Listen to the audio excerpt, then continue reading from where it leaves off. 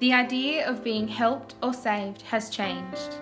We are no longer trapped inside a box. We are breaking down the walls. We are aspiring to learn. We are aspiring to change. Why is it that over half of all young Aboriginal and Torres Strait Islander people do not have a positive aspiration for their future?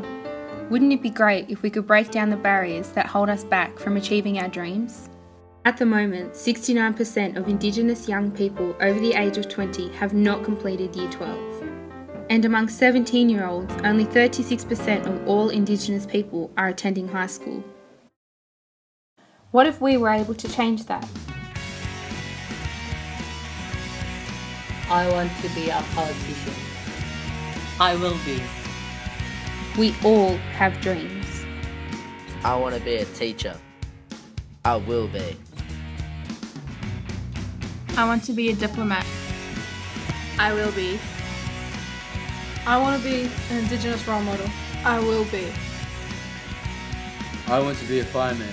I will be. I want to be a CEO. I will be. We are no longer bound by these walls that surround us. We have found a window. We have found a door. We can be the change we want to see. We challenge you. We challenge you teachers, we challenge you parents to discover our young people's aspirations. Most of all, we challenge you young people. Tell us.